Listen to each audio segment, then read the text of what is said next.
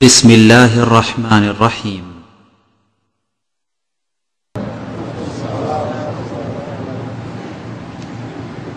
الحمد لله رب العالمين والعاقبة للمتقين والصلاة والسلام على أشرف الأنبياء والمرسلين نبينا محمد وعلى آله وأصحابه أجمعين. أما بعد أعوذ بالله من الشيطان الرجيم.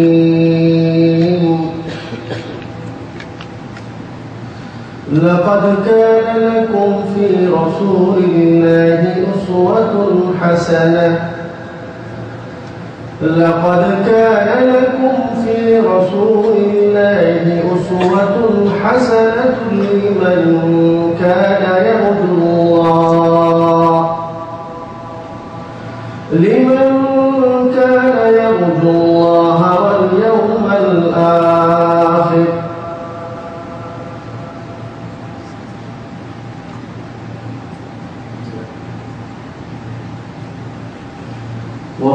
تعالى في موضع آخر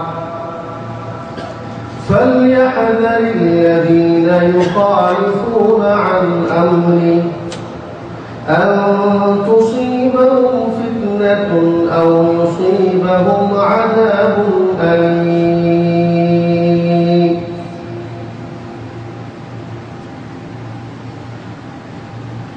সমস্ত প্রশংসা মহান রব্বুল আলমীর জন্য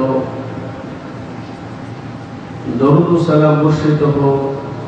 নবী মোহাম্মদুর রসুল্লাহ সাল্লাহ সাল্লামের উপর। আলোচনায় যাবার পূর্বে আমাদের সম্মানিত শেখ আব্দুর রহমান আল আমরি উনি ওনার বক্তব্যে প্রথমেই আল্লাপাকে শুক্রিয়া জানাইছেন। আল্লাহ রব্বুল আলমীর নিকট শুক্রিয়া জ্ঞাপন করছেন যে রব্বুল আলমী আমাদের সকলকে এই শ্রেষ্ঠ জায়গায় একত্রিত হওয়ার তৌফিক দান করেছেন, আলহামদুলিল্লাহ। উনি শুক্রিয়া জানাইছেন। খাবরা থেকে আগত দায়ী শুক্রিয়া জানাইছেন সকল প্রবাসী ভাইদের। যারা দিন শেখার জন্য এখানে উপস্থিত হয়েছেন। এবং উনি দোয়া করেছেন যে এখানে কোরআন এবং হাদিস থেকে যে আলোচনা হবে, এই আলোচনা থেকে যেন বক্তা নিজে এবং শ্রোতারা সকলেই যেন উপকৃত হতে পারেন, এই দোয়া করে উনি ওনার বক্তব্য শেষ করেছেন। আজকে সংক্ষিপ্ত আলোচনা যেটা আপনাদের সামনে উপস্থাপন করব। সেটি হল এই হাকিকাতুল ইসলাম। ইসলামের প্রকৃত রূপ। ইসলামের প্রকৃত রূপ। এই বিষয়ে আলোচনা করার প্রয়োজন কেন মনে করলাম? ইসলামের আবার কি অপ্রকৃত রূপ আছে নাকি? ইসলামের প্রকৃত রূপ বলতে একটা ইসলাম, নাকি? তো তার আসল রূপ এ বিষয়ে আলোচনা করব। এর অর্থ এটাও বুঝে আসবে যে ইসলামের প্রকৃত রূপের আলোচনার প্রয়োজন এই জন্য যে আজ ইসলাম অনেক ক্ষেত্রে বিকৃত হয়েছে। ইসলামের প্রকৃত রূপ মানুষ না জানার জন্য তাদের অবস্থাটা কেমন হয়েছে? আল্লাহ রব্বুল আলামিন সূরা কাহাফে বলেছেন হাল নুনাব্বিউকুম বিল আকসারিনা আমালা। হে নবী সাল্লাল্লাহু আলাইহি সাল্লাম আপনি মানুষদেরকে বলে দেন, হাল আমালা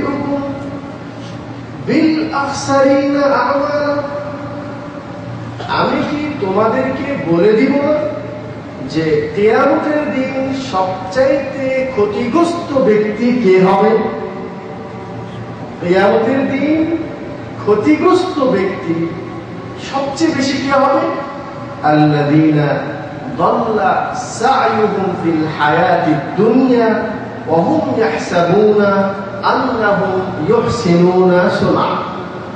বলছেন, সবচাইতে ক্ষতিগ্রস্ত হবে ওই ব্যক্তি যে দুনিয়ায় সুন্দর সুন্দর ভালো আমল করেছে, অনেক আমল করেছে, এবং সেই আমলগুলিকে সে ভালো এবং কল্যাণময় মনে করে, কল্যাণকর মনে করে সে ভালো কাজ করেছে। কিন্তু মূলত কেয়ামতের দিন ওই ব্যক্তির ওই আমল আল্লাহ গ্রহণ করবেন না। তাহলে কোন ব্যক্তি যদি সকাল থেকে সন্ধ্যা পর্যন্ত মজদুরি করে, পরিশ্রম করে, আর সন্ধ্যাবেলায় যদি সে পারিশ্রমিক সে না পায়, তাহলে এই ব্যক্তি বেশি ক্ষতিগ্রস্ত? নাকি যে ব্যক্তি আমল করেই নেন কাজ করেই নেন যে কাজ করে নেই সে তো কিছুই পাবে না। কিন্তু পরিশ্রম করার পর যদি পারিশ্রমিক না পাওয়া যায়, তাহলে এর কষ্ট বেশি। তো আমি আজকের আলোচনায় আপনাদের সামনে অতি সংক্ষিপ্তভাবে যে জিনিসটি আপনাদের সামনে ফুটে তোলার চেষ্টা করব, সেটা হলেই যে প্রকৃত ইসলাম না জানার কারণে আমাদের অবস্থাটা যেন এমন না হয়ে যায় যে শত আমল করার পরেও যদি কেয়ামতের দিন আল্লাহ পাক সেই আমলগুলির বদলা আমাদেরকে না দেন, তাহলে সেই দিন আমরা আল্লাহর সামনে অত্যন্ত ক্ষতিগ্রস্ত বলে গণ্য হব।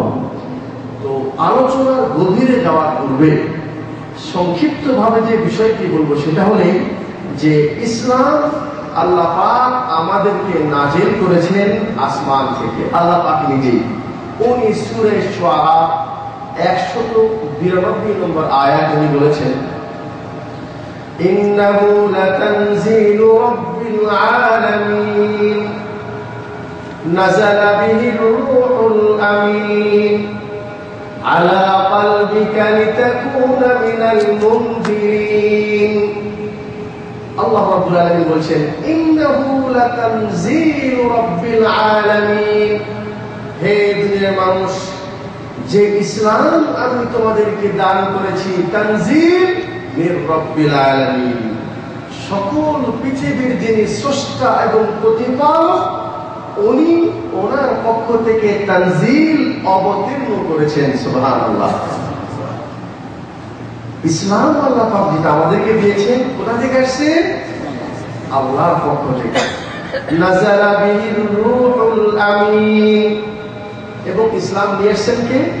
আল আমিন জিবরাইল আলাইহিস সালাম। এমন ফেরেশতা আল্লাহ পাক নিযুক্ত করেছেন। এই ওহি আল্লাহ পক্ষ থেকে নিয়ে আসার জন্য এমন একজন ফেরেশতাকে আল্লাহ পাক দায়িত্ব দিয়েছেন যে ফেরেশতাকে আল্লাহ পাক বলছেন আল আমিন বিশ্বস্ত ফেরেশতা। আল্লাহ তাকে আল আমিন বলে আখ্যায়িত করেছেন। কার উপর নাজিল করেছেন? আলা কালবি। হে মোহাম্মদ সাল্লাল্লাহু সাল্লাম, আমি আপনার অন্তরে এই কোরআন এবং ওহী আমি অবতীর্ণ করলাম। অনেক সতর্কতার সাথে। সতর্কতা হলে আল্লাহ বলছেন মনে রাখবা, ইসলাম আমি অবতীর্ণ করেছি। বিশ্বস্ত ফেরেস্তার মাধ্যমে নবী মোহাম্মদুর রসুল্লাহ উপরে। এত সতর্কতা কেন?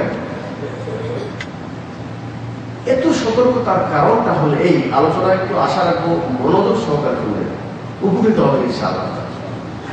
এত সতর্কতা কেন? বিশ্বস্ত ফেরেস্তার প্রয়োজন। আবার আল্লাহ বারবার বলছেন, দেখো, আমার পক্ষ থেকে এবং যে নবীর উপর আল্লাহ নাজেল করেছেন, তাকেও আল্লাহ আমিন বলে মানুষেরা উপাধি দিয়েছে।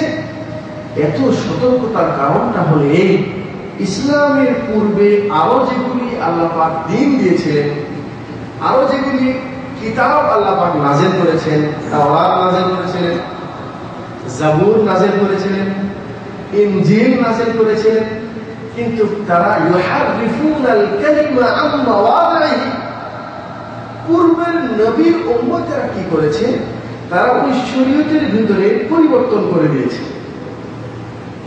যেটা ভালো লেগেছে, সেটা গ্রহণ করেছে, আর যেটা ভালো লাগে নাই, সেটাকে তারা বাদ দিয়েছে।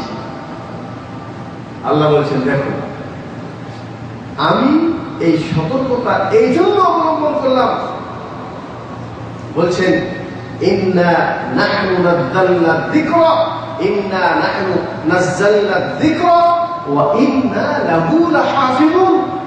আল্লাহ পাক যে আমি যে ইসলাম তোমাদের উপর নাজিল করছি, যে ওহি তোমাদের উপর নাজিল করছি ইসলাম, ওয়া ইন্না লাহু লাহাফিজুন আমি প্রথমেই গ্যারান্টি দিচ্ছি সেটা হলে যে কেয়ামত পর্যন্ত এটাকে সংরক্ষণ করার দায়িত্ব আমি রব্বুল আলমী নিজে গ্রহণ করলাম। অর্থাৎ আল্লাহ পাক বললেন যে পূর্বের কিতাবের ভিতরে পরিবর্তন হলেও যেই ইসলাম আমি তোমাদেরকে দিলাম, এই ইসলামের হুবহু সঠিক জিনিস কেয়ামত পর্যন্ত হেফাজত করা, সংরক্ষণ করার দায়িত্ব আমি রব্বুল আলমী নিজে নিলাম। এর উনি যে দায়িত্ব নিলেন তার কিছু বাস্তব উনি কিছু নমুনা দেখেন যে উনি কিভাবে এই শরীরটাকে সংরক্ষণ করেছেন উনি নবী মোহাম্মদুর রসুল্লাহ সাল্লামকে বলেছেন ইয়া আইয়ুহার রাসূল বাল্লিগ মা উনজিলা ইলাইকা মির রাব্বিক وإن لم تفعل فما بلغت رسالته والله يعصمك من الناس আল্লাহ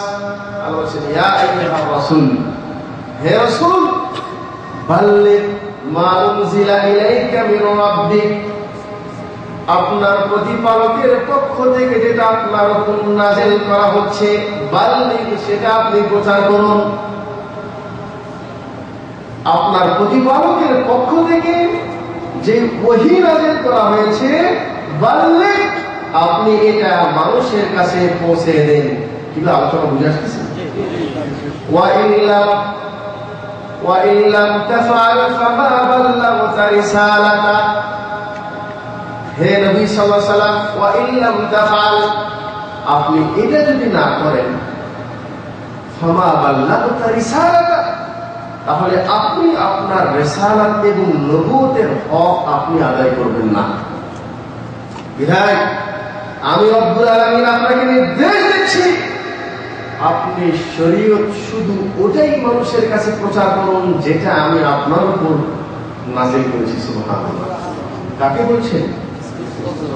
আর সেটি কেমন নবী? বিশ্ব নবী মোহাম্মদ রসুল্লাহ সাল্লাম সকল জাহানের মানুষের জন্য শুধু এক যুগের জন্য নয়, একটি সম্প্রদায়ের জন্য নবী নয়। পৃথিবীতে যত নবী এবং রসুল এসেছেন, সাইয়্যিদুল আম্বিয়া সমস্ত নবীদের উনি সর্দার আর তাকে আল্লাহ পাক বলছেন যে আপনি শুধু ওটাই মানুষকে বলুন যা আমি রব্বুল আলামিন আপনাকে নাযিল করছি শুনে রাখুন ولو تقول علينا بعض الأقاويل لأخذنا منه باليمين ثم لقطعنا منه الوتين হে নবী সাল্লাম ولو تقول علينا হতাশ হয়ে যাবে একটু বোঝার চেষ্টা ইসলাম কি? আল্লাহ আল্লাহ বলছেন বলছেন, এই পৃথিবীর শ্রেষ্ঠ বলছেন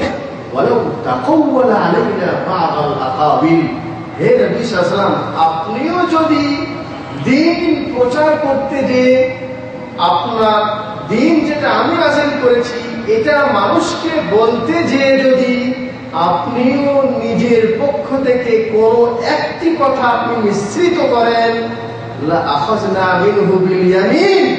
আমি ডান হাত দিয়ে আপনাকে ধরব। এবং আপনার গলার রগকে আমি কেটে দিব। আল্লাহ নবীকে বলছেন, আপনিও যদি দিন প্রচার করতে যে নিজের পক্ষ থেকে কোন একটি কথা যদি আপনি মিশ্রিত করেন, আমি রব্বুল আলমিন আপনাকে ছাড়বো না, আপনার গলার রবকে আমি কেটে দিব কিন্তু আল্লাহ রাব্বুল আলামিন নবীদেরকে যে পাঠিয়েছেন, আল্লাহ তারা নবীরা আল্লাহর নির্দেশের কোনো অমান্য করেন না।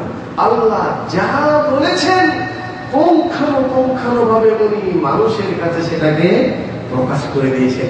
আল্লাহ পাক সূরা নাজামে উনি বলছেন, মা ইয়ানতিকু আনিল হাওয়া, ইন হুয়া ইল্লা ওয়াহয়ু ইউহা। বলছেন, মা ইয়ানতিকু আনিল হাওয়া, আমি যে নবী তোমাদেরকে প্রেরণ করেছি, ইনি যে দিনের দাওয়াত তোমাদের মাঝে প্রকাশ করেছে, যে দাওয়াত তোমাদের কাছে পৌঁছেছে, মা ইয়ান্তি কোয়ারিন হাওয়া। আমি তো তাকে বলেছি। নিজের পক্ষ থেকে কোনো কথা বলা চলবে না। আল্লাহ পাক সার্টিফিকেট দিলেন। মা ইয়ান্তি কোয়ারিন হাওয়া। তিনি কোনো কথা নিজের পক্ষ থেকে বলেননি একটি কথাও নিজের পক্ষ থেকে উনি বলেন না কীভাবে বলেছেন? উনি বলেছেন, ওনার উপর যা বহি করা হয়েছে, এই বহিটাই শুধু উনি মানুষের কাছে পৌঁছায় দিয়েছেন। তাহলে আল্লাহ পাক ওনাকে বললেন দিন প্রচার করতে গিয়ে নিজের পক্ষ থেকে কোনো কথা বলা চলবে না। আল্লাহ আল্লাহকে বলেছেন? বলেন বলেছেন? সার্টিফিকেট কে দিয়েছে? আল্লাহ নিজে দিয়েছে। যে দেখো, আমি যে নবী তোমাদেরকে দিয়েছি, এই নবী কোনো একটি কথাও তোমাদের পক্ষ থেকে, নিজের পক্ষ থেকে বলেনি। আচ্ছা যেহেতু আল্লাহ নবী সাল্লাম নিজের পক্ষ থেকে একটি কথাও বলে নাই, বিধায় কি করতে হবে?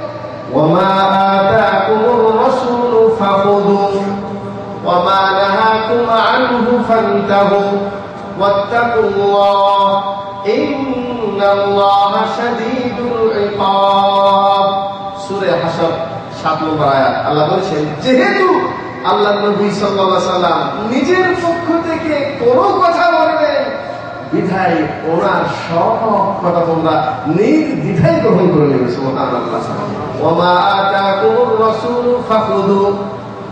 রাসূল যা তোমাদেরকে দেয় সেটা তোমরা নিয়ে নাও। রাসূল যা নিষেধ করে সেখান থেকে বিরত থেকে যাও। আল্লাহর ভয় করো। আল্লাহ অত্যন্ত কঠিন আল্লাহ আমাদেরকে বললেন, যেহেতু এই পৃথিবীতে একজন লোক এমন আছেন, একজন ব্যক্তি এমন আছেন, আমি ওনাকে দুনিয়ায় প্রেরণ করেছি আমার দিন মানুষের কাছে পৌঁছানোর জন্য। আর উনি এমন একজন ব্যক্তিত্ব, ওনাকে যেভাবে আমি দিন দিয়েছি, উনি সেইভাবেই মানুষের কাছে পৌঁছে দিয়েছে। বিদায় হে দুনিয়ার সকল মানুষ। ইত্তাবিউ মা উনজিলা ইলাইকুম মির রাব্বিকুম ওয়ালা তাত্তাবিউ মিন দুনিহি আউলিয়া। তোমরা সকলেই সেই ওহী আল্লাহর পক্ষ থেকে প্রেরিত যে তোমরা তাবেদারি করো, এটা ছাড়া অন্য কিছু তোমরা তাবেদারি করো না। তাহলে আল্লাহ পাক বলছেন, যেহেতু নবী নিজের পক্ষ থেকে কোনো কথা বলে নাই, বিধায় আল্লাহ নবী তোমাদেরকে যা দিয়েছে, সেটা নিয়ে যাও নিষেধ করেছে থেমে যাও যেটা দেয় নেই, নেওয়ার দরকার নেই। ভালো করে যতটুকু দিয়েছে, অতটুকু নেন। যেটা দেয় নেই নেওয়ার চেষ্টা করুন। তাহলে আল্লাহ পাক আমাদেরকে সুরাই আহজাবে একুশ নম্বর আয়াতে বলছেন, লাকাদ কানা লাকুম ফি রাসূলিল্লাহি উসওয়াতুন হাসানা। এখন আসল মূল বিষয়ে আমি কেবল আসলাম। যে হে দুনিয়ার মানুষ, তোমরা কার অনুগত করবে? কাকে দেখে চলবে? তোমার নমুনা কেমন তোমার মাথায় কত চার কল্লি নাকি তিন কল্লি টুপি হবে? তুমি অজু কীভাবে করবে? তুমি সালাদ কীভাবে আদায় করবে? তুমি হজ কীভাবে সম্পাদন করবে? দিনের প্রত্যেকটি কাজ আমি পৃথিবীতে একজন ব্যক্তি ছাড়া দ্বিতীয় কাউকে নমুনা বানাইনি সেটা কি? লাকাদ কানা লাকুম ফি রাসূলিল্লাহি উসওয়াতুন কোনো দরকার নেই বাবা যাওয়ার জন্য কোনো দরকার নেই। অমুক হুজুর কি বলছে? অমুক সাহেব কি বলছে? ওনার জামার কালার কেমন ছিল? আজকাল আমাদের দেশের এক এক হুজুরের এক এক রকম। আর টুপি থেকে বোঝা যায় যে এই কার মন্দির হ্যাঁ? আপনি কাদের অনুসরণ করেন? কাকে নমুনা মানেন আল্লাহ নবী মুখে দাবি করেন, আশহাদু আল্লা ইলাহা ইল্লাল্লাহ।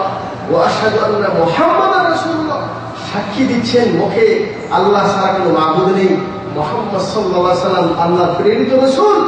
আনুগত্যের ক্ষেত্রে যে আপনি এটা কেন বলেন আশ্চর্যের কথা। একজন ছাত্র আমাকে বলছে যে, ভাই, আমার আব্বা আম্মা তাহাজ্জুদ পূজা ছিল পাঁচ অক্ট নামাজ আদায় করতো। কোন এক নাকি বলেছে, না, পাঁচ অক্ট নামাজের দরকার নেই। সে নাকি স্বপ্নে পেয়েছে যে দুই অক্ট করলে হয়ে যাবে। বলছে, আমার মায়ের জন্য আমি এত করছে ওস্তাদজি আপনি আমার আম্মার জন্য দোয়া করেন। আমি যখনই তাকে বোঝানোর চেষ্টা করি সেই একটাই জবাব দেয় তুমি সৌদি আরব গেছে। তাহলে দেখা যাচ্ছে নমুনা নেই হাসানা, হে মুসলিম ভাই, এটাই আপনাকে বুঝতে হবে। এটা যদি আপনি বোঝেন, এটা গোড়া।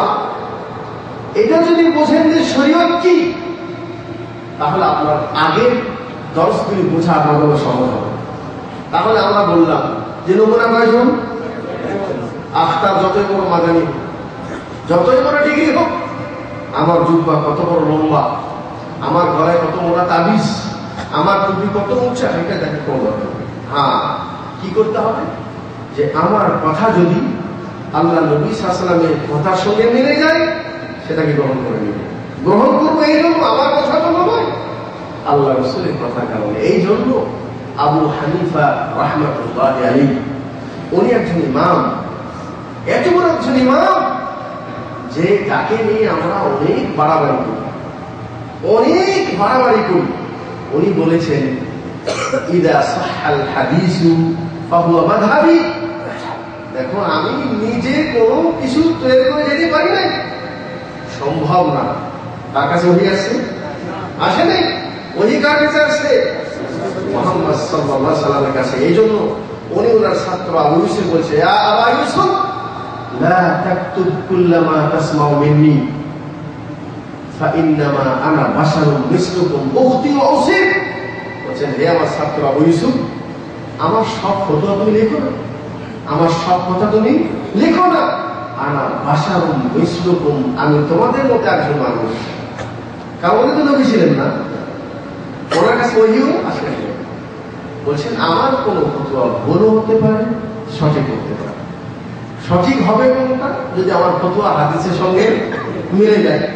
যদি মিলে, সেটা নাও। আর যদি না মিলে, তাহলে আমার সেই ফতুয়া দেওয়ালে ফেলে দাও। তাহলে এটা হলো ইসলামের মূল প্রকৃত চেতনা। এই কথা শুধু আবু হানিফা রহমতুল্লাহ নয়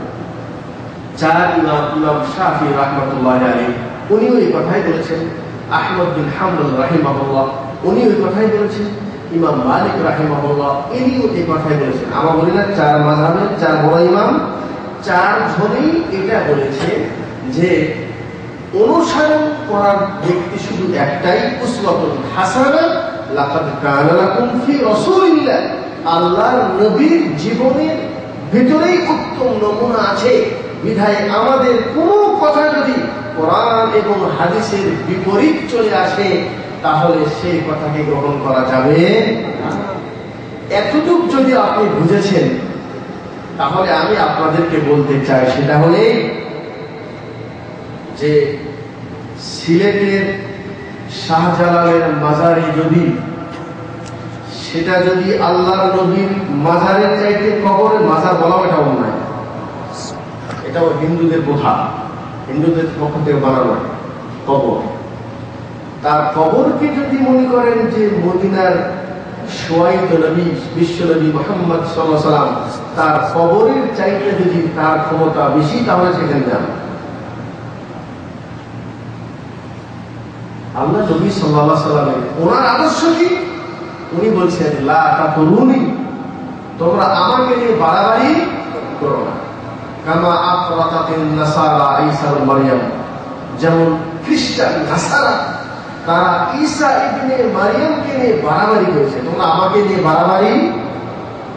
আমাকে নিয়ে বাড়াবাড়ি এবং বলেছেন আল্লাহ নবী আলাইহি বলেছেন যে, লা তাজআল কবরি ঈদান।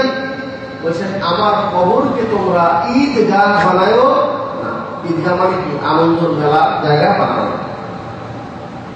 কবরি ওয়াসনান তুরবাত বলছেন, আমার কবরকে তুমি ইবাদতের জায়গা বানায় না যা পূজা করা হয়। তাহলে আল্লাহ নবী সাল্লাম ওনার দিন, প্রকৃত দিন, উনি বলছেন যে, আমাকে নিয়ে তোমরা বাড়াবাড়ি। আচ্ছা নবীকে নিয়ে বাড়াবাড়ি মানুষেরা কীভাবে করেছে? এই আলোচনা শুনবেন আজকে এসার পরে, ইনশাআল্লাহ কি রাজি আছেন তো? ওই বিষয়ে আর এখন জানো না। তাহলে উনি বলেছেন, আমাকে নিয়ে বাড়াবাড়ি না। আর আমার কবরকে তুমি এবাদত গা বানাবে না। যেই কবরে সেজদা হবে, যেই কবরে এবাদত করা হবে, এরকম তুমি তোমরা বানায়ো তাহলে আল্লাহ নবী সাল্লাম ওনার কবরকে এবাদতের জায়গা বানাইতে এটা হলো তার নমুনা।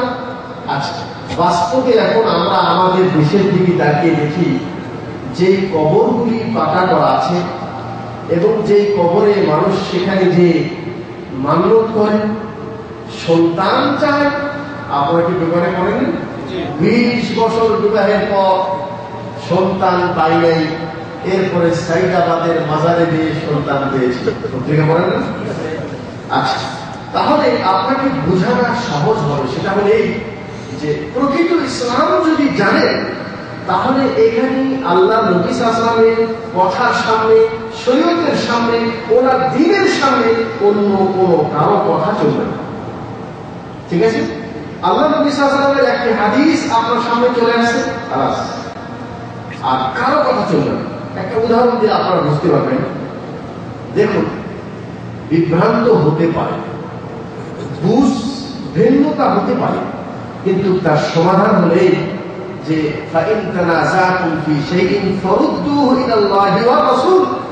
তোমরা যদি কোনো বিষয় যদি বিভক্ত হয়ে যাও, তোমরা যদি কোনো বিষয়ে ইখতিলাফ মোতালাক্ক হয়ে যায়, যে এ একটা বলছে, এ একটা বলছে, সমস্যাটা আমাদের কাছে না?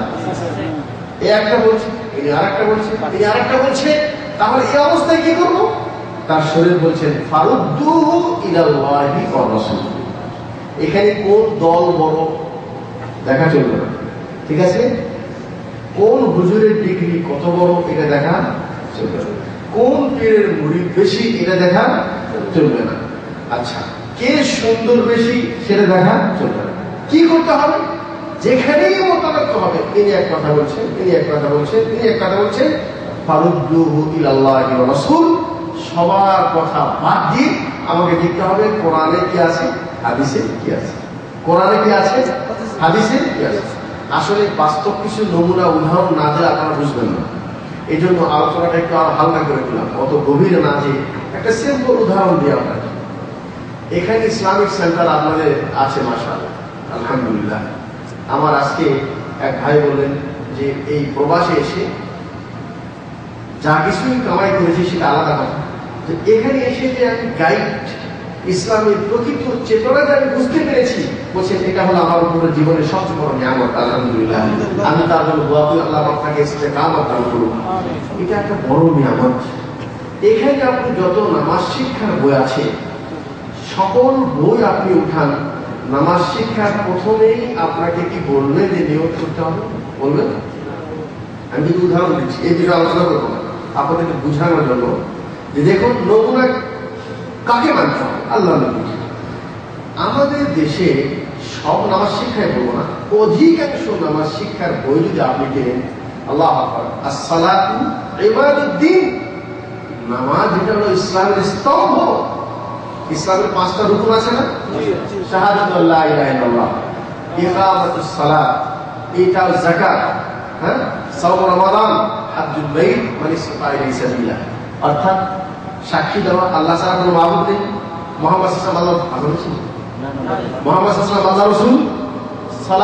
করা প্রদান রোজা রাখা এবং তো প্রথম তো সাক্ষী দেওয়া। আমলের ক্ষেত্রে প্রথম রুকুন কি? সালাদ নামাজ। যেই নামাজ সম্পর্কে আল্লাহ বলেছেন আব্দু মিন আমালিহি সালাতুহু। বলছেন, কিয়ামতের দিন সর্বপ্রথম মানুষকে জিজ্ঞাসা করা হবে তার আমল সম্পর্কে সালাতুহু, সে নামাজে আসলো। সালাত আদায় করতে ভালো করে বুঝে নেন। কেয়ামতের দিন আপনি জাকাত দিয়েছেন না পরের প্রশ্ন। হজ করেছেন, পরের প্রশ্ন। আর কি করেছেন সেটা পর। প্রথম যেটা জিজ্ঞাসা করা হবে সেটা হলে আপনি সলাৎ আদায় করতেন কিনা নামাজ পড়তেন কিনা তো এটাতেই যদি ফেল হয়ে যায় পরের প্রশ্ন করার দরকার এ নেই এই জন্য আল্লাহ পাক সুরায় মুদাসসিরে বলেছেন মা সালাকাকুম ফি সাফার মা সালাকাকুম ফি সাফার قالوا لم نك من المصلين আল্লাহ পাক জাহান্নামীদেরকে জান্নাতীরা বলবে মা সালাকাকুম ফি সাকার জাহান্নামে তোমাকে কোন আমল নিয়ে এসেছে? কেন জাহান্নামে এসেছ? তো ওই যে আগের হাদিসে ইউহাসাব প্রথম প্রশ্ন সেটা আমি ফেল করেছি, কি? প্রথম প্রশ্ন ফেল করেছি, নামাজে ছিলাম তো প্রথম প্রশ্ন যদি ভুল হয়ে যায়, সব ভুল আগের কোনো দরকারই নেই। আমি এই জন্য বলেছি যে আমাদের দেশে আলহামদুলিল্লাহ বিশ্বের দ্বিতীয় নাম্বার বৃহত্তম মুসলিম দেশ আমাদের প্রত্যেকের ভিতরে নামাজ বা সলা আদায় করার একটা চেতনা আছে। এই জন্য মানুষ আবেগে নামাজ শিক্ষা বই বাজার বাজারে কিনে নিয়েছে এখন নামাজ শিক্ষা বই বাজারে কিনে নিয়ে এসেছেন সেখানে সুরা ফাতেহা ছাড়া ইমামের পিছনে নামাজ হয় না।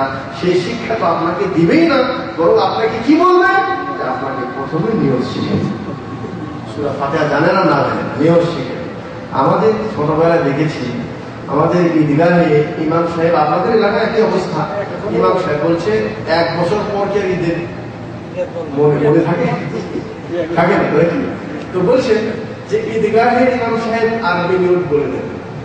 নওয়াই সাল্লি হ্যাঁ এভাবে একটা নিয়োগ করে দেন হ্যাঁ? এরপরে উনি তো সবাই তার আরবি জানেন এরপরে বাংলায় বলে দেন দেখ আমি কেবলামুখী হয়ে ইমামের পিছনে ঈদ উল ফিতরের নামাজ চার তকবীরের সহিত হ্যাঁ। আদায় করেছি আল্লাহ আমিও বলে না? আচ্ছা এইটার পরে এরপরে আবার বলে যে এটাও যদি কেউ না পারেন তাহলে বলবেন যে হুজুরের জানেন আমারও তাই নেই। আল্লাহ ঠিক আছে? হুজুরের জানেন আমারও তাই নেই। তার মানে যে এটাও বলতেই হবে। কিন্তু ওই বোকাকে বোঝানো উচিত যে, আরে বেটা কি আল্লাহকে বুঝাইতে চাচ্ছিস তুই কোথায় আসছিস, কি নামাজ পড়তেছিস? তার পুরো কথাই বাংলাদেশে অমুক জেলায়, অমুক থানায়, অমুক গ্রামে, অমুক ঈদগাহে হ্যাঁ এতটা সময় নামাজ পড়তে এসেছি। আমি কেবলামুখী বললাম আমার সামনে আছে হাবিব, আমার পাশে আছে অমুক। সব কথাই বলেন কারণ জান না তো আল্লাহ, কোথায় আছো কীভাবে করছ? নাকি? দরকার হ্যাঁ? আমি যেটা বলছিলাম যে, এখন আপনি বুঝবেন যে, প্রকৃত ইসলাম না জানার কারণে ঠিক আছে না ভাই?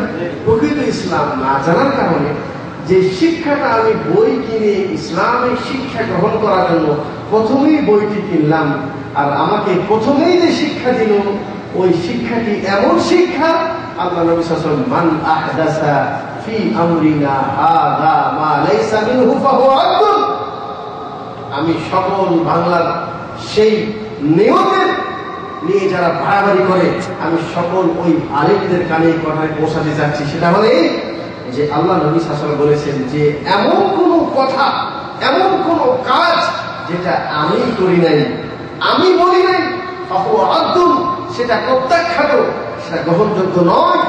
বিধায় এই নিয়মটি যদি কোরআন হাদিসে থাকে তাহলে সেটা ঠিক আছে। কথা বুঝে আসলো?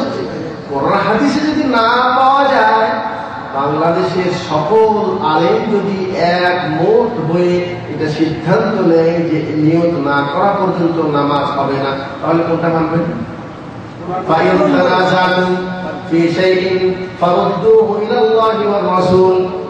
সকল আলেম একটা কথা বলছে, হাদিস আর একটা কথা বলছে, কোরআন আর একটা কথা বলছে। কোন দিকে যাব? কথা বুঝে আসুন? আচ্ছা। আমাকে বলা হয়েছে যে সুফিবাদ এই সম্পর্কে কিছু বলুন। সুফিবাদ সম্পর্কে কিছু বলুন।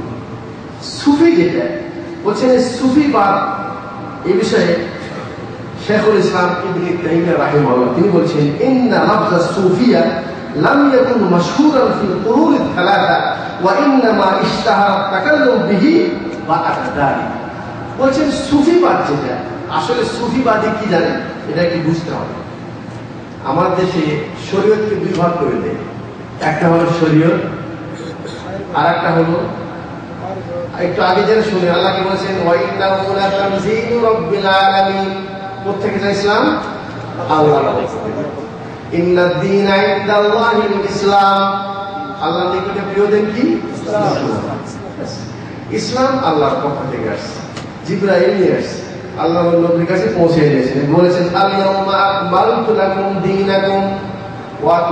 আলাইকুম নি'মাতি ওয়া রাদিতু লাকুমুল ইসলাম দীনা। কারও অধিকার নেই। কিয়ামত পর্যন্ত আমি যে শরীয়ত নবীর উপর নাযিল করলাম সাল্লাল্লাহু সাল্লাম, সেই নাযিলকৃত বিধান আমি অবতীর্ণ করে সেটা আবার এমনি মুক্ত করে রেখে দিয়েছি তা। আল ইয়াউমা আকমালতু লাকুম, সেটাকে পরিপূর্ণ করে দিয়েছি। ঠিক আছে? আল্লাহ পাক বলছেন, আমি সেটাকে পরিপূর্ণ করে দিয়েছি। শরীয়ত আল্লাহ পাক নাজেলও করেছেন, পরিপূর্ণ করেও দিয়েছেন। একটু উনিশ বিশ করার অধিকার কারও নেই। বিধায় ইমাম ইবনে তাইমিয়া রাহিমাহুল্লাহ বলছেন সুফিবাদ যেটা তাসাউফ এটা আল্লাহ নবীর যুগে ছিল না। সাহাবীদের যুগে ছিল না। তাবিদের যুগে ছিল না। অর্থাৎ সুন্দর তিনটি যুগ যেটা আছে, এর ভিতরে ছিল না।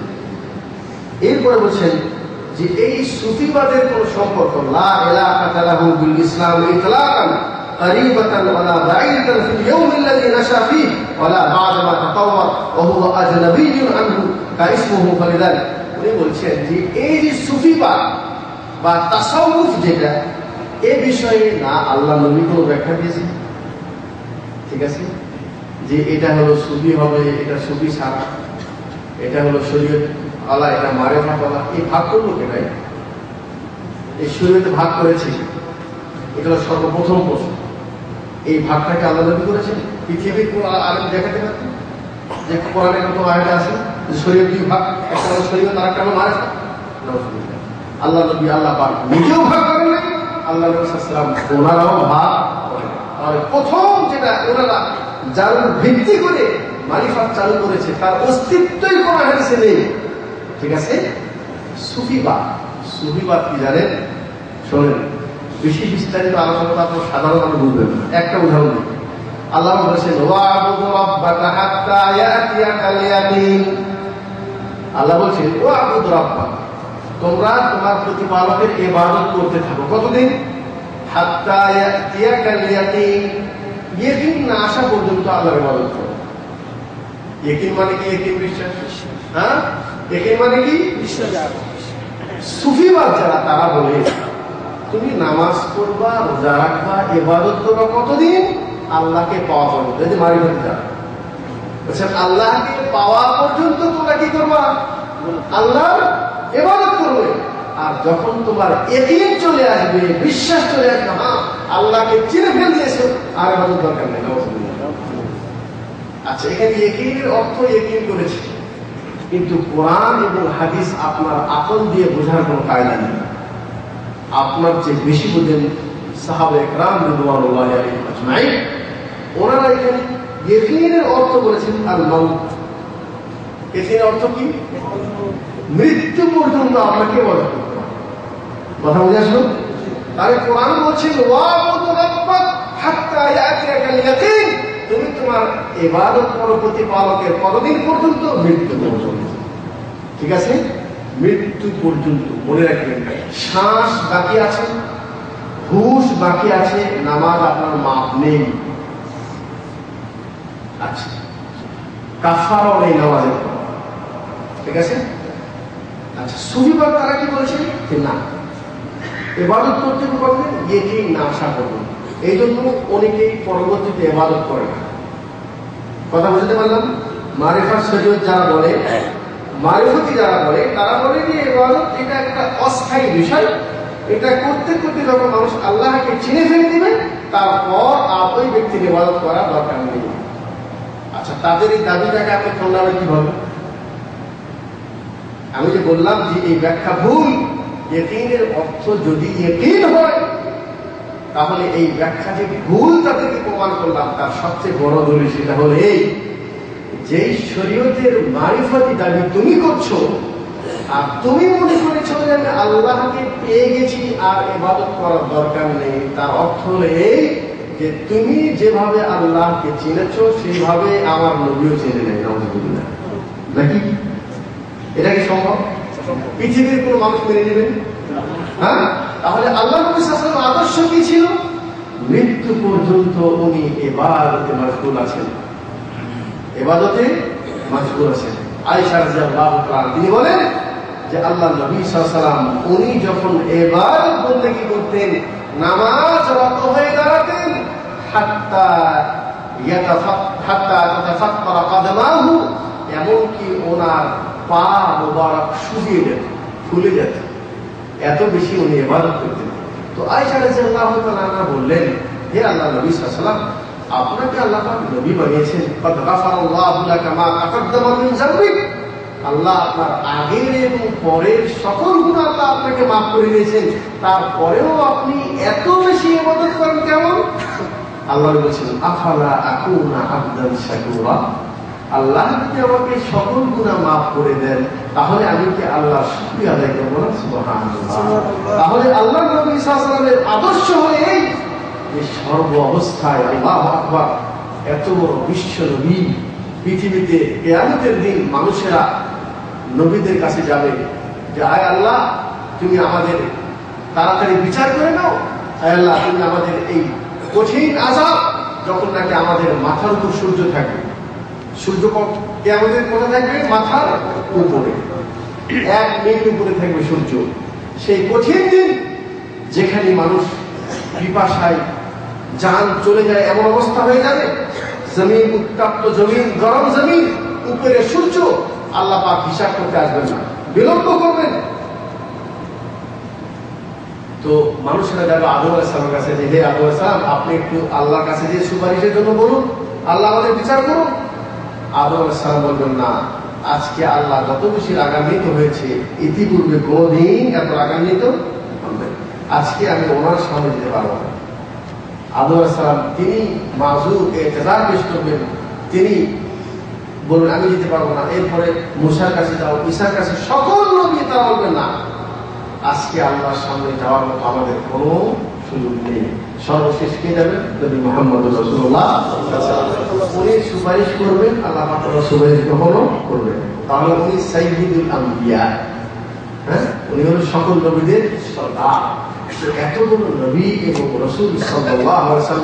ওনার আদর্শ যে উনি মৃত্যু পর্যন্ত ইবাদত করে গেছেন এবং আল্লাহর কাছে দোয়া করেছেন, আল্লাহ তুমি আমাকে ঈমান অবস্থায় দুনিয়া থেকে মৃত্যুবরণ করো সুবহানাল্লাহ। আল্লাহ নবী সাল্লাল্লাহু দশজন সাহাবীকে জান্নাতি বলে ঘোষণা দিয়েছেন দুনিয়ায় জান্নাতি বলেছে।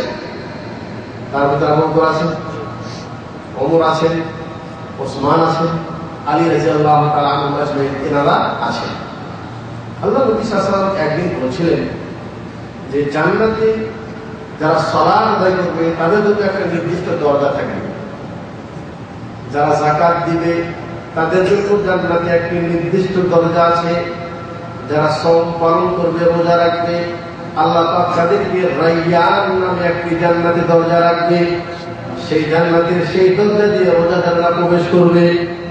আবু বকর সিদ্দিক রাদিয়াল্লাহু বলেন, হে আল্লাহর নবী সাল্লাল্লাহু এমন এমন কি কোনো ব্যক্তি হবেন না যে ব্যক্তিকে সকল দরজা দিয়ে ডাকবে?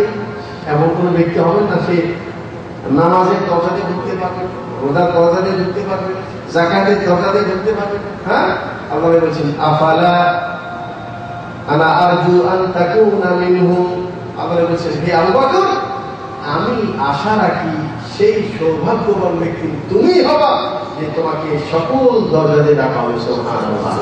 তাহলে এত বড় একজন জালিলুল কাদার সাহাবী, ইসলামের প্রথম খলিফা আল্লাহ নবী সাল্লাল্লাহু সেই ইসলাম গ্রহণ ওনার দাওয়াত ওনার কাছে যাওয়ার সাথে সাথে তিনি দাওয়াতটি গ্রহণ করেছেন।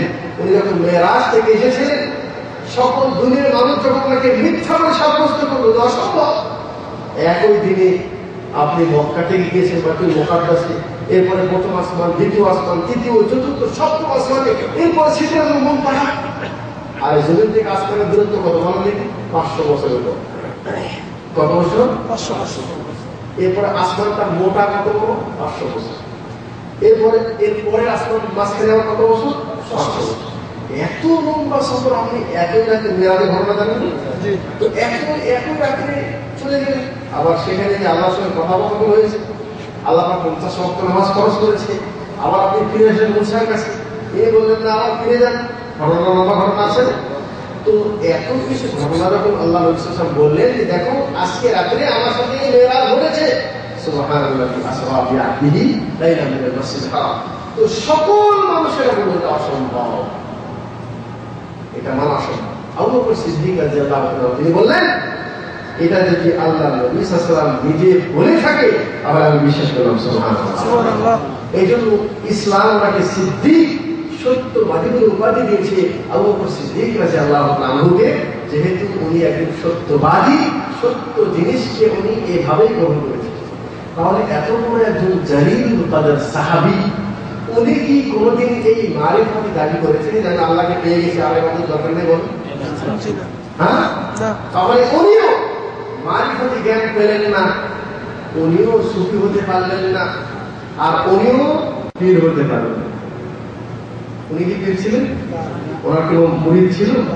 তাদেরকে বায়াত করতে রেখে ছিল? তাহলে হে মুসলিম ভাইয়ের আমার, প্রকৃত ইসলাম না জানার কারণে মানুষেরা আসছে কোথায় আট কোথায় বারো রশি কোথায় নেই আর কোথায় কচ্ছপ করি? বাগের আগে গেলাম যে সেখানে মানুষেরা কুমিরকে খাওয়াচ্ছে। কুমির কুমির মানুষের সন্তান দিচ্ছে।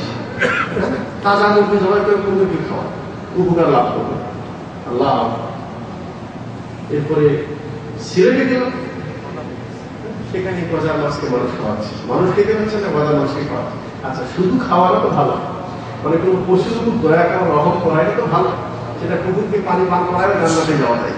তুমি যদি মাগুর মাছকে এমনি খাওয়াস তাহলে আমরা পুকুরে খেতে দিই কিন্তু যারা মাগুর মাছকে খাওয়ায়, তারা কিন্তু এমনি খাওয়ানোর জন্য তারা খাওয়ায়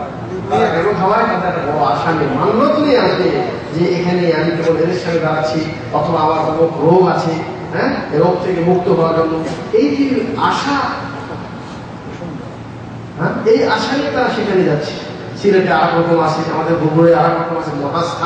এক জায়গায় এক এক রকম ব্যবসা বেড়ে গেছে। আর এটা এত সুন্দর ব্যবসা কোনো পুঁজি ছাড়া ব্যবসা। আমাকে কদিন আগে একজন বলল, ইন্ডিয়ার একটা ছেলে। সে বলছে যে আমার একজন প্রতিবেশী হিন্দু সে কয়েকটা ব্যবসা করতে গিয়ে ব্যবসা করতে পারে না, মার খেয়ে যায়। বলছে কিছুদিন পর দেখলাম যে চুল টুল একটু হিন্দু কিন্তু চুল লম্বা করে ছেড়ে দিয়েছে মুসটাও কাটে না ছেড়ে দিয়েছে।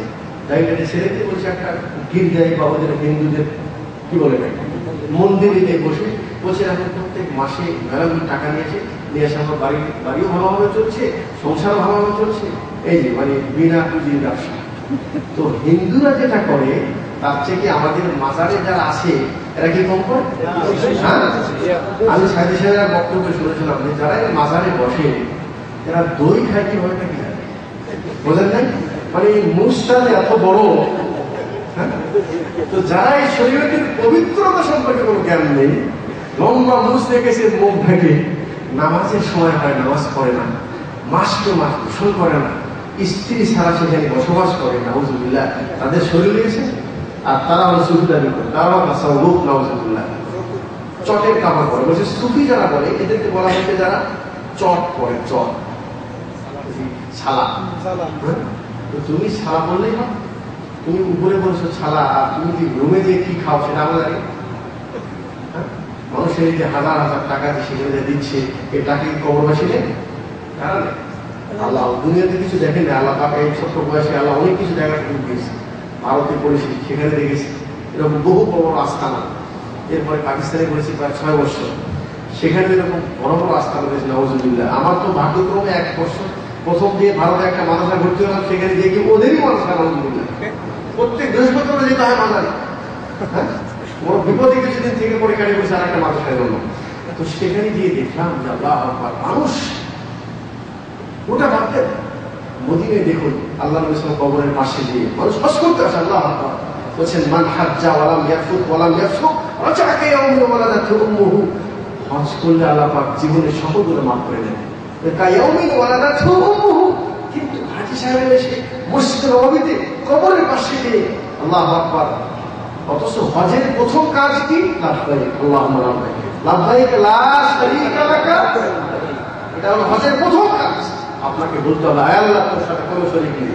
ইন্নাল হামদা ওয়ান নি'মাতা লাকা ওয়াল সকল নিয়ামত।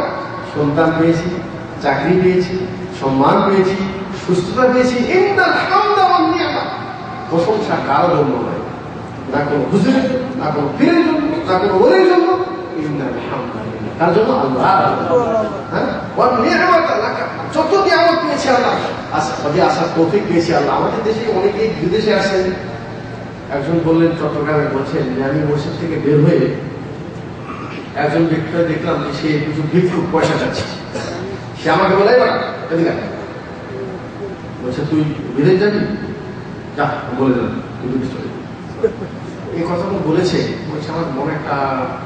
এই কথা বলল ওর ভিতরে বিদেশে যাওয়ার একটা বড় চেতনা। বিদেশে কেমনি যাই বলছে অল্প বিশ টাকা দিচ্ছি দিয়ে বলছে "ওরা আমার জন্য দোয়া করে। আল্লাহ কি মেহরবানি? ওই টাকা দেওয়ার পরে এক আধ মাস পরেই তোমার কোনো ভাই কি কেউ বন্ধু বিদেশ থেকে ফোন করেছে যে তোমার বিদেশে আসলি এত টাকা দেওয়া হলো তোমার ভিসা পাচ্ছি এখন সে কি মনে করছে? মা এই লোকটাকে এই লোকটা খুঁজে বের করতে হবে। হ্যাঁ? এরপরে আবার সে ওই সে চট্টগ্রামে যে ওই নামাজ পড়ে আবার খুশি এই লোকটা কোথায়? ওই লোকের কাজই তো প্রত্যেক শুক্রবার পর যে এরকম ভিক্ষা করা। করছে তারপর ওকে যে আমি এক হাজার টাকা পকেট দিলাম হুজুর আপনার বল কবুল হয়েছে, আমার বুঝে চলে আসছে। হ্যাঁ? আপনিও তো মনে করবেন হয়েছে, কিছু এরকম ঘটে না। দুর্বল ইমান তারা কি মনে করবে আসলে এখান থেকে কানেকশন হয়েছে মনে নাকি? এই যে যারা বিশ বছর বিবাহের পর সন্তান পায় নাই, তারা কোনো মাজারে যে মান্যত করে যে আমি একটা খাসি দিব যদি আমাকে সন্তানটা দিয়ে দাও আল্লাহর কাছ। আল্লাহ বলছেন ওয়াবুদ্দুহুম ফি তুগয়ানিহিম ইয়াহমাহুন মানুষ যদি সঠিক পথ থেকে সরে যায়, আল্লাহ তাকে ধরার জন্য আরও তাকে কৌশল ফেলায় দেয়। ওই যে বসে ছিপ দিয়ে মাছ ধরা দেখেছেন ওই কালা একটা ছোট মাছ বাঁধানো হয়। ওটাকে মাছের সামনে ফেলে দেওয়া হয়। তো মাছকে বোঝানো হয় যে এটা তোমার খাওয়ার জন্য। নাকি? আর ওই মাছটা যখন প্রথম ঠোকর দেয়, তখন আপনি টান দেন দেন আপনি কি করেন? আবার ঢিল দেন। আরও ঢিল দেন, যেন সে বোঝে যে হ্যাঁ এটা আমার খাওয়ার জন্যই যখন সে পুরা একিন করে নেয় যে হ্যাঁ এটা খাওয়ার জন্যই। এরপরে পুরোটা বসি যখন সে গিলে ফেলে দেয়, তখন এই টানা শুরু করে। যখন বোঝে যে, না, আর বের হওয়ার ক্ষমতা নেই, তখন তাকে উপরে তুলে তখন মাছ বুঝতে পারে যে, এটা আমার খাওয়ার জন্য নয়। যদি মনে করেন মাজারে যে পাওয়া যায়, হিন্দুরাও তাদের ওই গির্জা যে পায়। যদি না পায় তাহলে গির্জা সব বন্ধ হয়ে যাবে। মানুষ যেই আকিদা নিয়ে যেখানে যাবে, আল্লাহ পাক তাকে সেটাই দিবে। বুঝলেন যার ইমান দুর্বল আল্লাহ সেকে পাওয়ার আশা নেই, মাখলুক দিতে পারবে। এই ধরনের যখন দুর্বল ইমান মানুষের হয়ে যায়, আল্লাহ পাক তাকে ধরার জন্য রশিটা আরও বেশি ঢিল দিয়ে ঠিক আছে? তুই যখন বললি যে অমুক মাজারে গেলে পাবো তুই যা, আমি তোকে দিব। আর তারপরে তুই বলবি হ্যাঁ এই বাবা আমাকে দিয়েছে, খালাস। লাইন আসবাক্তা লায়াহ বাতাম নামানুন খালাস, তুই একটি কথা বলেছিস যে এই মাজার আমাকে সন্তান দিয়েছে? এই একটি কথা বলার কারণে তোর জীবনে যত নামাজ, রোজা, হজ আছে লায়াহ বাতাম নামানুন সব মিশে তাহলে দেখা গেল যে, তাহলে বুঝতে পারলে ভাই প্রকৃত ইসলাম কি বুঝাতে পারলাম? তো প্রকৃত ইসলাম আজকে না বোঝার কারণে মানুষেরা কেউ গায়রুল্লাহর কাছে যাচ্ছে, মানুষেরা কেউ নামাজ শিখতে যাচ্ছে, রোজা শিখতে যাচ্ছে, হজ শিখতে যাচ্ছে, মানুষের কাছে কিন্তু আল্লাহ বলছেন ফাস আলু আহলা দিকরি ইন কুনতুম লা তা'লামুন বিল বাইয়িনাতি ওয়াজ জুবুর তুমি যদি মানুষকে কিছু জিজ্ঞাসা করো বড় দলিল যে কোনো কাজে কি লাগবে? দলিল দলিল আছে দলিল নেই, সেটা নেওয়া আমাদের দেশে রোজা শুরু হয় নিয়ত থেকে অজু শুরু হয় নিয়ত থেকে নামাজ শুরু হয় নিয়ত থেকে এরপরে নামাজের ভিতরে আর কত রকম বেদাত আছে? অজুর ভিতরে কত আছে? তারপরে আছে আকিদার কত ভুল আল্লাহ পাক আকিদার বিষয়ে বলছেন যে আর রহমান আল্লাহ আশিস আল্লাহ কথা আছে? এবং শরীয়ত প্রকৃত ইসলাম। আর যদি আমাদের দেশে এরকম বড় একটা মাহফিলে জিজ্ঞাসা করেন বা আপনাদেরকে জিজ্ঞেস করি, বা আপনারাও যদি ইসলামিক সেন্টারে যোগাযোগ করার আগে যদি জিজ্ঞেস করতাম, আই আল্লাহ আল্লাহ কোথায়? বলে কি বলতেন? নাকি ভুল এটাই আগে জানেন তাহলে বোঝা যাচ্ছে প্রকৃত ইসলাম না জানার কারণে, তাহলে যারা নাকি এই কথা বলবে যে আল্লাহ সব জায়গায় আছে, যারা নাকি এটা বলবে আল্লাহ নিরাকার, যারা নাকি এটা বলবে নবী নাকি এটা নবী ইলমুল গায়েব জানে যারা নাকি এটা বলবে যে আল্লাহ সারা ওলিরাও ফায়েজ দিতে পারে, তাহলে তাদের এই কথা আর শরীয়তের শিরকের ভিতরে কোনো রকম পার্থক্য নেই। যারা এই কথা বলে, তাদের অবস্থা ওটাই হবে। আল্লাহ আল্লাদিনা আল্লাহ সাহুম ফিল হায়াতিদ দুনিয়া ওহুম ইয়াহসাবুন আন্নাহুম ইউহসিনুনা তাদের অবস্থা এটাই হবে। যে তারা কিয়ামতের দিন আমিলাতুন নাসিবা তাসলা নারান হামিয়া আমল করার পরেও আল্লাহ পাক সে আমলটাকে গ্রহণ সময় আছে তো ইনশাআল্লাহ এটা আপনাদের সামনে একটা ভূমিকা রাখলাম ইসলামের প্রকৃত রূপ সম্পর্কে এই বিষয়ে বিষয় ভিত্তিক বিস্তারিত আলোচনা আজকেই এসার পর আছে। থাকবেন তো ইনশাআল্লাহ। অর্থাৎ যেটা সেন্টারে যেটা সেখানে আগামী কালকেও মাগরিব পর আছে। আগামী কালকেও এসার পর আছে। তো যদি মনে করেন যে আমরা কিছু শিখতে পারব, আমার কিছু শিখতে পারলেন যদি মনে করেন যে হ্যাঁ শেখার কিছু প্রয়োজন আছে, যে আমাদের ভুল আছে আকিদায়, ভুল আছে আমলে এবং এগুলি জানা দরকার। এগুলি নিজে যেরকম আমল করা দরকার, ঠিক তেমনই এই বক্তব্যগুলি বাড়িতে পাঠিয়ে দিয়ে সেখানেও মানুষকে শুনিয়ে, মানুষের ভিতরে পরিবর্তন নিয়ে আসার দরকার, এটা যদি মনে করেন, তাহলে মেহরবানি করে আলোচনায় অংশগ্রহণ করুন। আশা রাখি ইনশাআল্লাহ আমাদের মুখ থেকে কল কল রসুল, আল্লাহ এবং তার রসুলের বাণী ছাড়া অন্য কোনো কথা শুনবেন না। আল্লাহ আমাদের সকলকে আমল করার তৌফিক দান করুন। ও আলহামদুলিল্লাহ যদি কেউ প্রশ্ন থাকে কি আজানের পরে এটা করা যাবে?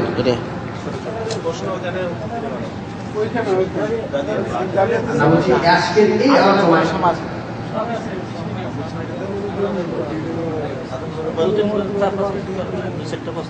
আচ্ছা, এখন যদি প্রশ্ন থাকে বলেন।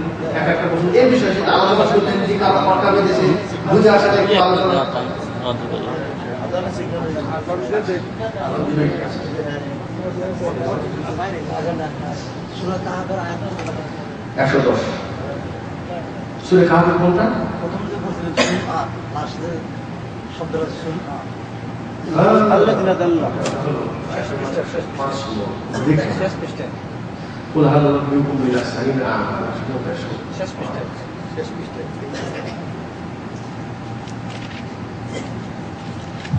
ঠিক